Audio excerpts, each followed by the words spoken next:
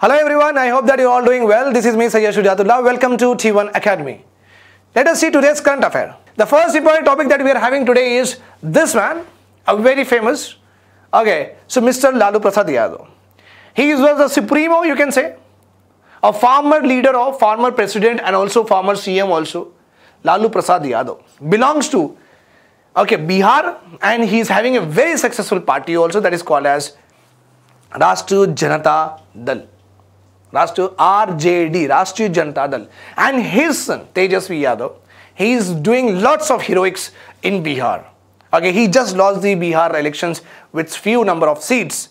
But his father already made that party very big in Bihar.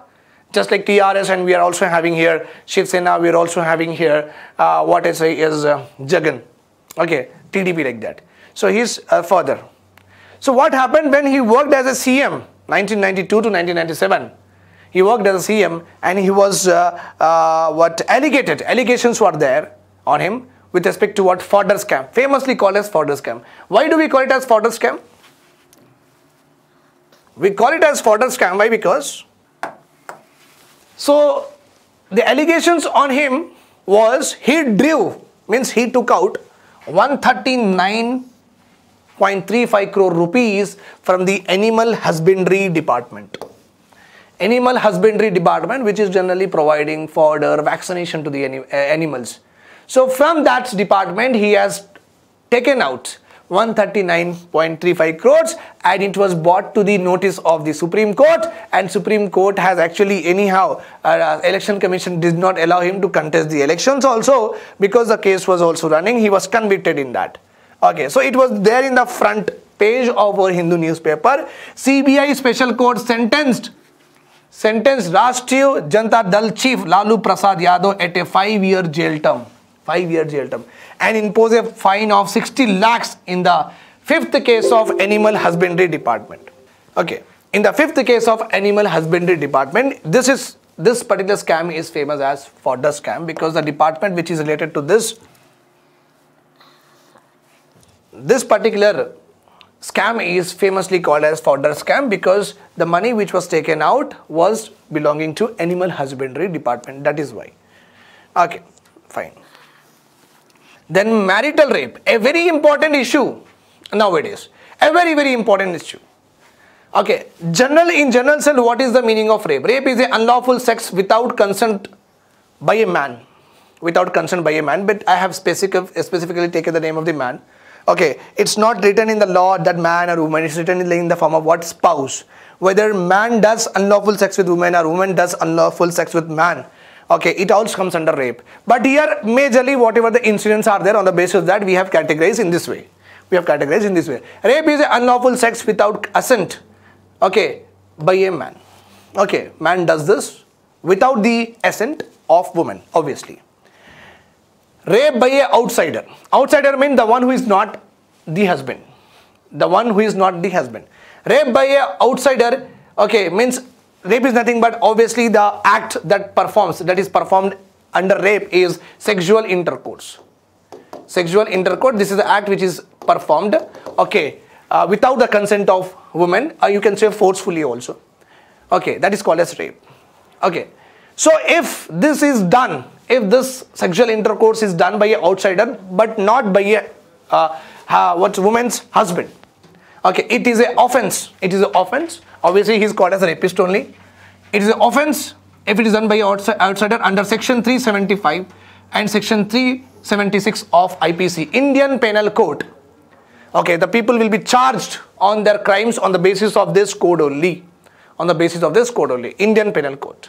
But you can see that outsider is mentioned if anyone have sex with woman without her consent or by force and if he is outsider then he will be punished. It means what? One who gets married one who is one who is a husband but he if he does the sex with the wife forcefully without her consent obviously without her like okay without her like then it this section excludes the husbands.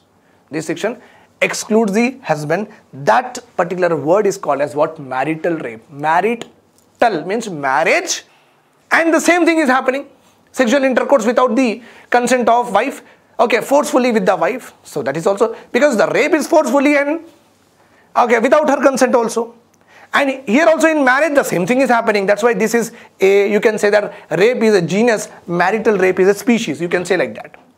Okay in marital rape also marriage is the only thing happened. But uh, if anyone does the sex with the wife forcefully or without her consent then the term marital rape is generally given to it. Okay. And the husbands are excluded from these sections. Okay that i have already told you.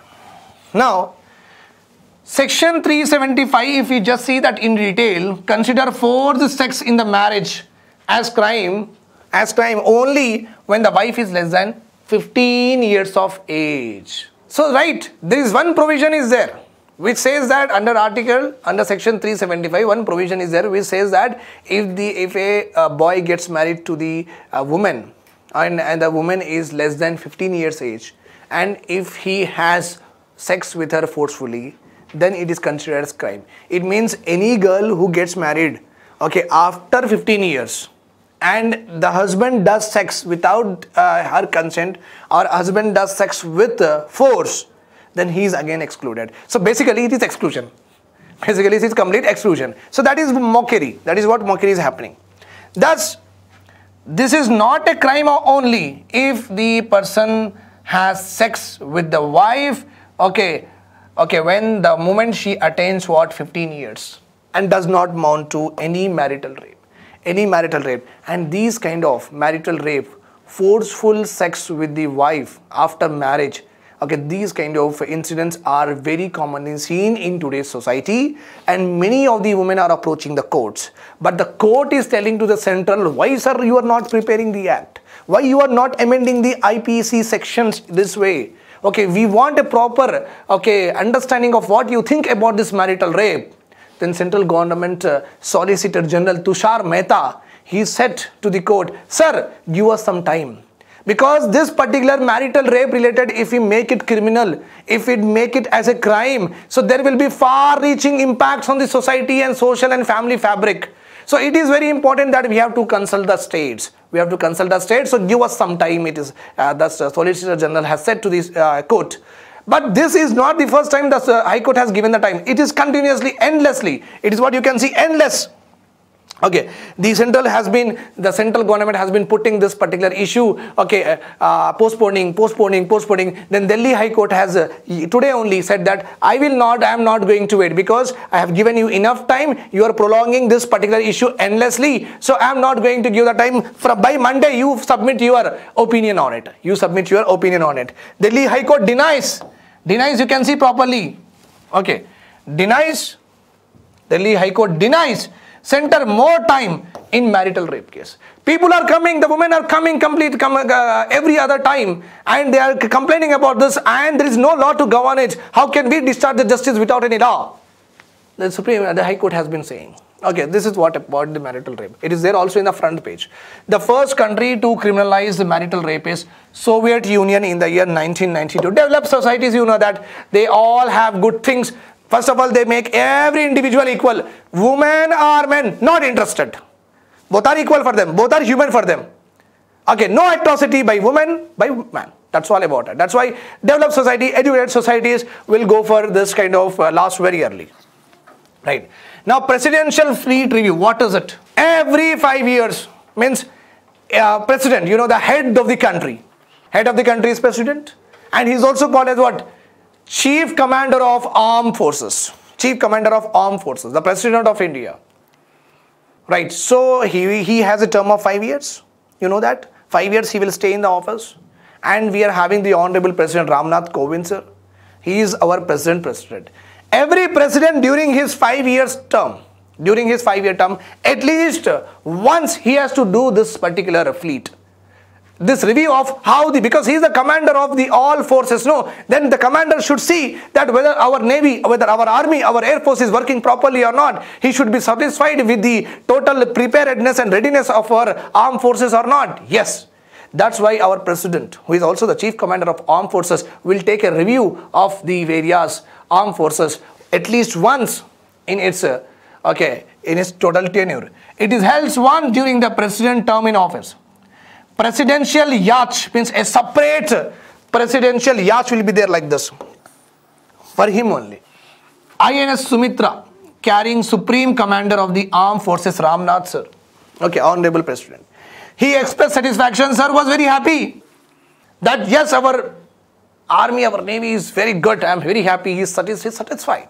That's all about it. Fine. Now, what is quadrilateral security dialogue? You know that there are four. Quad means four. We are having here India. Okay. Then we are having Japan. Then we are having Australia. Then we are having USA. So we are having almost, this is like Australia, Aussie map. This is India. This is Japan. And this is USA. So four countries together. Okay. So it is also called as quadrilateral security dialogue. Quadrilateral security dialogue also called as Asian NATO. NATO is North Atlantic Treaty Organization.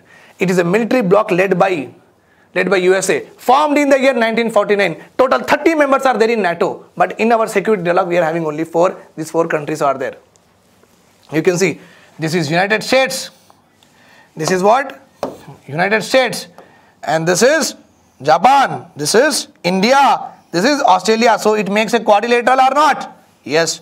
That's why the name quadrilateral is there. They will work on all platforms. They will work on all issues like trade issues uh, and economic issues and any kind of humanitarian assistance, etc. Disaster management. Uh, okay, they'll work on on issues and majorly they will focus on security. Maybe focus security, security nothing but peace and tranquility across the region. Across the region how to maintain peace in the world, what kind of uh, okay, steps we should take together. There should not be any hegemony of any country or superpower like that. Okay, that is what they do. That is what they do. Okay, quadrilateral security dialogue. It is also there. Then Manarega, Mahatma Gandhi National Rural Employment Guaranteed Act. It was passed in the year 2005. It is basically the act is for what? To remove unemployment, nothing but to give employment. Employment. Very, very important act. Okay. So it is a social security scheme, means society. Those who are poor in the society, they will be secured of livelihood. How? By getting employment in this scheme. By getting employment in this scheme. That's why it is called as what? Social security scheme. It attempts to provide employment and livelihood to the rural laborers in the country. Only in rural areas this particular scheme will be implemented, not in urban areas. Special features of this scheme are the first one we are having here, okay, it is uh, Act passed in the year 2005, implementation from 2006. 100 days of work will be given to you and one member, one member who is adult in every household. One household, five members are there. If there are two adults are there, only one adult will get what 100 days of work from the government side. 15 days payment. 15 days payment. This is why payment. Every 15 days you will be getting what money you go to Gram Panchayat of your locality or you, you go to uh, that uh, Mandal officer of that particular locality and you, if you belong to BPL population, if you are in the rural area, you go to them, sir, I want to work. Okay, you are BPL? Yes. How many adults are there? Sir, we are, my, myself, my brother is there, very school going. Okay. You want job? Yes. Okay, right, fill the form and give it to, give it to me and go. Yes, sir, I fill the form. 15 days happen, but he is not calling for me job. 15, then if 15 days happen, passed, if I am not given the job, then I will be given unemployment allowances. 50% of what to be paid. If I work, 50% will be given to my account. If the work is not given to me, if work is given to me, full payment will be done. Work is not given, 50% of the payment will be done. But everything should be done in about 15 days. Okay. It is a demand driven. Demand driven means what? As a family household, I should go and demand, sir, give me work. Then only the work will be given. Government will not put your, will not come to your household, will not come to your door and say that please, please come to the job. The government will not say like that. Okay. It's a demand driven. The people should demand it. The people should demand it. That is how this scheme will run. Okay. Panchayats will implement. Panchayat will implement and another important point, unskilled work will be given. Okay, they will not give you electrician work, they will not give you plumbing work, they will not give you driving work, unskilled work, head loaders, majorly in the construction of bridges, construction of flyovers, like that. Unskilled work, not technical work, not professional works will not be given, unskilled. And manual work will be given, nobody will be given a machine to operate. Manual work will be taken with hands. You have to do with hands. You have to do with hands, anything with the hands. But not with the machine is not given to you. Manual work will be done. This is all about the Manrega scheme. Thanks a lot for hearing to me. Have a nice day.